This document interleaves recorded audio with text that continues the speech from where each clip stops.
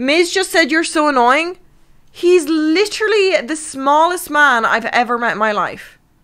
Why do I care about his opinion? I don't. Why do you think? Why do you think he begs for me to stay there?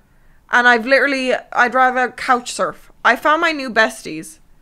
I'm not even lying. I rolled up here and I'm like, hey, I'm sorry if I was weird last night. I know we met for the first time. Actually, no.